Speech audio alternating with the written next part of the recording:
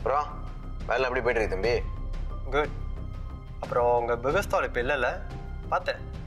அப்புறம் இப்போ என்ன பண்ணுறீங்க பெகஸ்டோ இல்லை தான் வேற பிஸ்னஸ் செய்கிறேன் ஓ என்ன பிஸ்னஸ் எனக்கு ஆயிரத்தி எட்டு பிஸ்னஸ் இருக்கும். உனக்கு என்ன? இங்கே பாரு தம்பி. நீ கார்த்தின்னு எனக்கு தெரியும். இந்த ஆஃபீஸில் இருக்கிறவங்க வேணா நீ கௌதம்னு நம்பலாம். புரியுதா? ஏதோ ஒன்று பிளான் பண்ணிட்டு இருக்க. ஒன்றும் மூவ் பண்ணாமல் இருக்க. என்ன பண்ண போகிறேன்னு தான் நானும் வெயிட் பண்ணிக்கிட்டு இருக்கேன். இங்கே பாரு. என் தங்கச்சிக்கு மட்டும் ஏதாச்சும் ஒன்று ஆச்சு செத்துருவேன் நீ. எனக்கும் அந்த கார்த்தியை பார்க்கணுன்னு ஆசையாக தான் இருக்குது இஃப் யூ டோன்ட் மைண்ட் அந்த கார்த்தியோட பிக்சர்ஸ் இருந்தால் காட்டுறீங்களா? நல்லா நடிக்கிறோட எப்போ அப்படி நடிக்கிற? இப்போ பார்க்குறியா இப்போ பார்க்குறியா நீ கார்த்தியை நான் ப்ரூவ் பண்ணி காட்டுறேன். எப்படி? ஆ, அப்படிதான்டா. டேய் இந்த ஃபோனில் மட்டும் இப்போ குமாரோட நம்பர் இருந்துச்சுன்னு வச்சுக்கேன். நீ கார்த்திடா. என்ன என்ன பண்ற? ஆ என்னோட இன்ஸ்டா ஐடி கேட்டான் அதான் கொடுக்க போறேன். பிராண்ட் இருக்காரு போன கொடு. ஏய் இப்ப பாரு இவன் கௌதம் இல்ல கார்த்தின்னு அவன் ப்ரூஃப் பண்றேன். போன கொடுங்க.